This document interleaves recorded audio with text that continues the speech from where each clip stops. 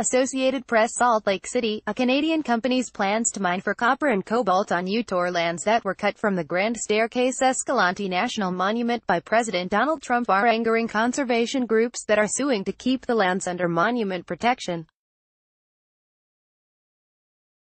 Conservation and paleontology groups called attention this week to plans announced earlier this month by Glacier Lake Resources Inc. The company said in a news release it would begin surface exploration this summer and that drilling will be permitted shortly. Start your day with the news you need from the Bay Area and beyond. Sign up for our morning report weekday newsletter. But officials from the U.S. Bureau of Land Management and Utah Division of Oil, Gas and Mining told the Deseret News that the company hasn't filed any paperwork seeking permission.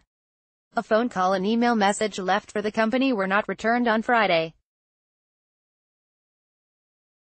There's been no known extraction work on lands cut from Grand Staircase and the Bears Ears National Monuments since the window opened for requests in February. Several conservation and environmental groups sued to overturn the decision by Trump in December to shrink Bears Ears National Monument by about 85% and Grand Staircase Escalante National Monument by nearly half. Those lawsuits are pending.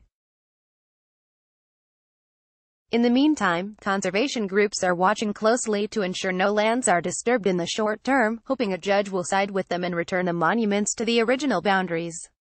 Trump's decision earned him cheers from Republican leaders in Utah who lobbied him to undo protections by Democratic presidents that they considered overly broad. Conservation groups called it the largest elimination of protected land in American history.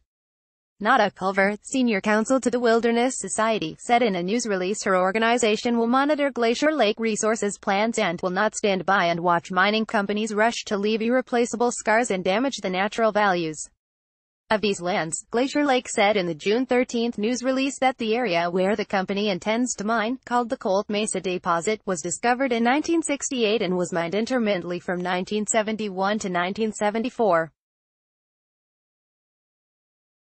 The deposit is part of the Grand Staircase Escalante National Monument cut out from the original boundaries created by President Bill Clinton in 1996. Other lands taken out of the monument contain coal that a company was preparing to mine before the designation in the mid-1990s. It appears unlikely, however, that any company will immediately jump at the chance this time because of a decline in demand for coal production in Utah, state officials have said. Glacier Lake Resources hasn't filed paperwork with BLM in Utah, Kimberly Finch, an agency spokeswoman, told the Deseret News.